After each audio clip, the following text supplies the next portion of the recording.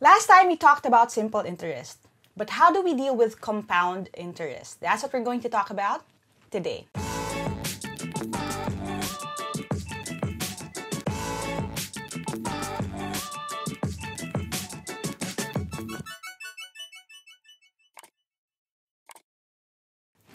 Hi there, thank you for checking out my channel. Thank you for clicking on this video. If this is the first video that you're watching from my channel, I make educational and motivational content.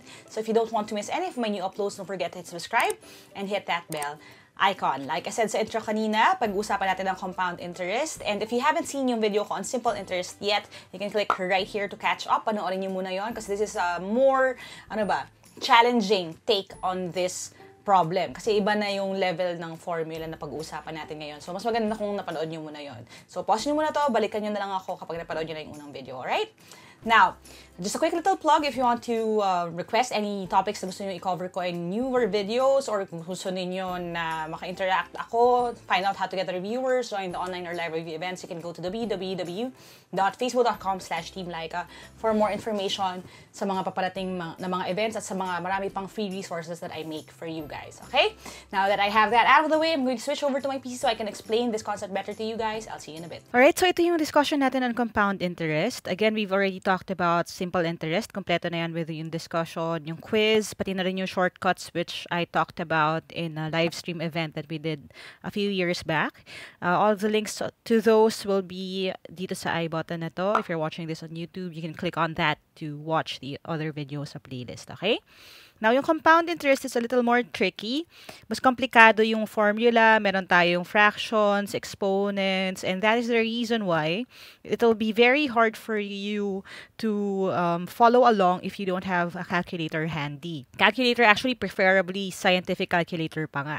Now, for those of you who are only watching for the civil service exam, if ever magkakaroon ng compound interest question sa civil service, mas simple yung values. Ibig sabihin, whole numbers siya, uh, mas madali sa options yung tamang sagot. Pero, mas maganda if you're prepared sa kahit anong ibabato sa atin. And that is why I'm making this video. Now, for those of you who are in high school or college na you deal with this, then this is the great video for you to solve along. Okay? So, again, if you have a calculator with you, mas maganda. If hindi, uh, that's okay. I'm going to explain yung concept first. And, and uh, dun sa susunod nating video, it will be your quiz. Okay? Now, let's start with the basics muna, yung formula. Ang formula is A is equal to P. Tapos, imumultiply siya sa quantity na 1 plus, ito na yung medyo komplikado, R over N. Tapos, yung entire thing, yung 1 plus R over N, meron pa siyang exponent. Ang exponent niya is NT, or basically, N times T.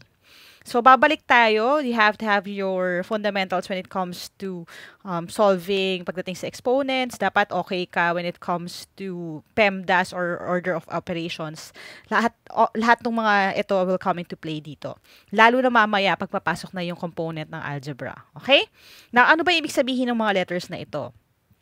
Yung A is the total accrued amount.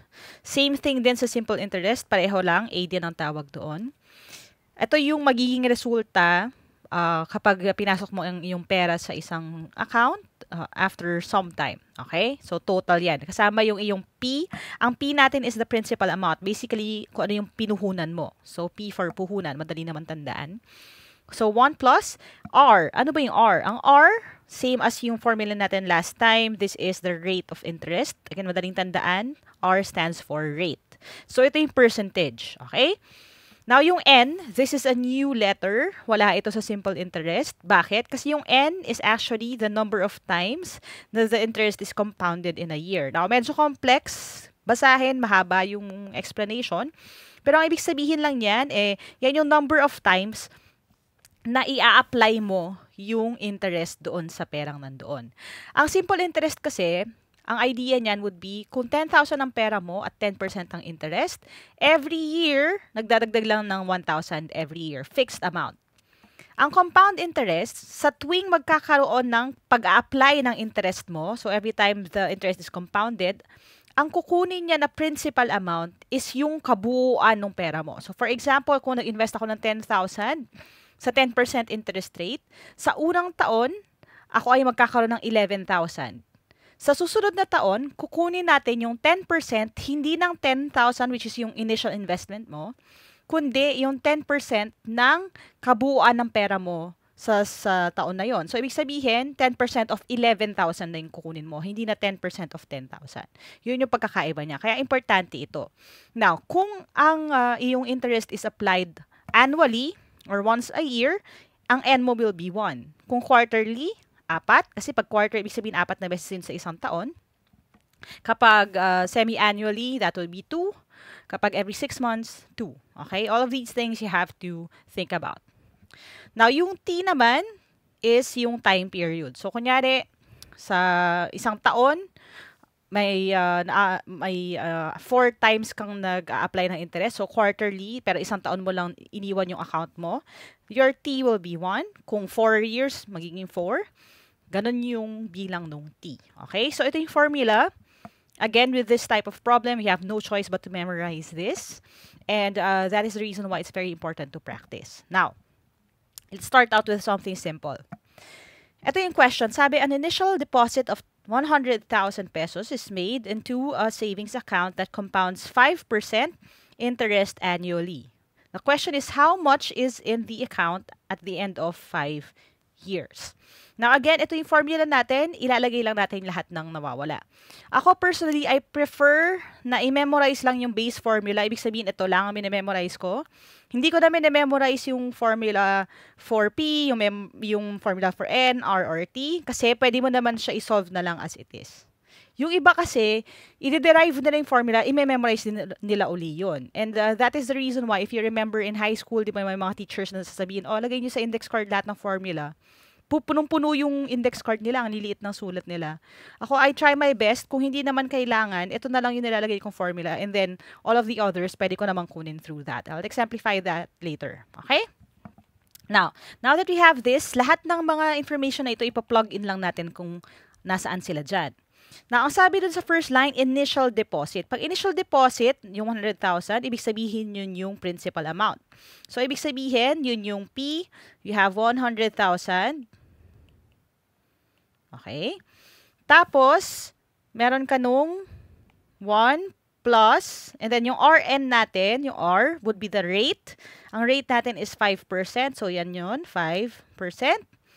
Tapos, over yung N. Ang N is the number of times na it's accrued in a year or it's uh, applied in a year. So, ibig sabihin yung N natin would be, eto, annually. Ang annually, ibig sabihin once a year, ibig sabihin, 1 lang ang ilalagay natin dito. Okay? Now, after that, you have your NT. Again, N pareho lang, 1 lang din. Pero i-multiply ko siya sa T. Ano ba yung T? Yun yung time. Ang time natin here is 5 years. So, that means ito ay 5. And now, we have yung ating formula. Okay? Equation na siya. Isosolve natin siya. Okay? So, isolve na lang natin siya. Dire-diretsuin ko na. You have A is equal to 100,000. Tapos, mag-focus tayo dito sa right side. Ito yung medyo mas complex. Okay? So, you have 1 plus 5% divided by 1. Again, identity, property ng multiplication. If you haven't seen that um, video yet, ililink ko na lang din dito. Ang ibig sabihin lang nun, any number, i-divide mo Then sa, sa 1, ibig sabihin it'll just be the same number. So yung 5% will stay as 5%. Kung gusto ko siya i-decimal, yan ay 0.05. Okay? So 0.05 na siya. Tapos i-close ko lang ito. Yung 1 times 5 is 5. So ibig sabihin yung exponent niya is 5. Now, ito yung part na you have to remember all the time. Sa PEMDAS, if you remember this, ang ibig sabihin ng PEMDAS or GEMDAS, yung iba kasi ang ginagamit nila is G, ang ibig sabihin nun, grouping or parenthesis, exponent bago multiplication and division. So, ibig sabihin nun, dito sa setup na ito, kailangan ko munang i-sort out yung exponent side bago ko siya i-multiply sa 100,000. Yung iba kasi ang ginagawa, minumultiply ito dito, tsaka nila nilalagay yung exponent. Pero hindi dapat ganon. Dapat, etong side muna na ito, bago ko siya i-multiply dito. Okay? So, isolve lang natin siya. You have A is equal to 100,000 as it is pa rin. Tapos, you have 1.05 raised to the fifth power. Now, ano ibig sabihin ng raised to the fifth power? Ibig sabihin nun, i-multiply ko yung 1.05 sa sarili niya 5 times. So, kung isusulat ko yon parang ganito yon 1.05 times 1.05 tapos times 1.05 times 1.05 times 1.05. Kung kayo ay may simpleng calculator, you will be forced to just type this. Pero kung meron kang scientific calculator, pwede mo na lang i, uh, ilagay yung exponent as 5. Tapos mag enter ka na lang. Okay? So, ang magiging kalalabasan niyan, A is equal to 100,000 tapos, i-multiply ko siya dito. Ang kalalabasan nito is 1.28. Okay? So, actually, there are uh, more uh, decimals dyan. Ginawa ko lang na 2 de two, ano, ha, decimal places. Pero ano yan eh, parang 2, 7, uh, 6, 2, 8, something like that. Okay? So, again, nilagay ko lang dyan for now, para lang hindi natin kailangan isulat yung entire thing. Tapos ngayon, again, if you're holding your scientific calculator or your actual calculator, imu pwede mo na ngayon siya i-multiply doon sa 100,000. Na kapag mo-multiply ka ng uh, ng 100,000, actually, kung ilan yung zero, i-move mo lang yung decimal place sa ilang beses yon. So, it's actually simple kahit na hindi nyo napinutin sa calculator yan. Ang lalabas dyan is A is equal to 127,628.15. Okay? Now, again, saan nanggaling to? Kasi approximation lang yung ni-round off ko lang yung 1.28 para lang mas maikli sulat natin kanina. Pero kung uh, kung kayo ay nag-solve ng worksheet na binigay ng inyong teacher, okay, sasabihin nila naman nila yung rule. Usually kapag pera ang pinag-uusapan, which in this case ay ganun nga, ang sinasabi lang ng mga teachers, two decimal places. Kasi di ba pag nagbabayad naman tayo uh, ng centavos sa cashier, two decimal places lang yung sinusunod.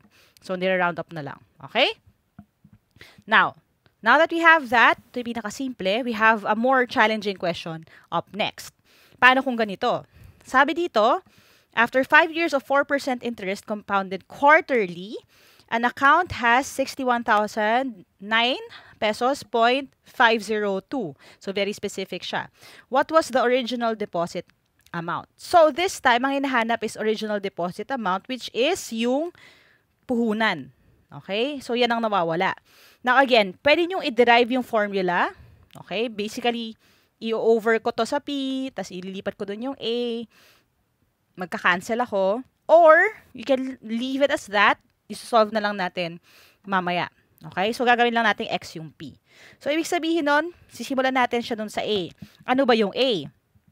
Yun yung total na pera after ng lahat ng nangyari. Ito yon yung 61,009.502. So, ibig sabihin yun ang magiging A natin. So, you have 61,009.502 okay, equals, tas dahil yung P ang nawawala, siya ang magiging X. Tapos you have 1 plus, ang R natin, rate of interest is 4%. So 4% ito. Tapos over siya sa N. Ang N, sabi dito, quarterly daw. So kung quarterly, ibig sabihin happens 4 times in a year. So ibig sabihin ito magiging 4 yung number na yan. Tapos i-close natin ito. You have your N which is still 4 times T which is yung time na nagstay yung pera sa account. Sabi to, they had 5 years. So, ibig sabihin, ito ay 4 times 5. Okay?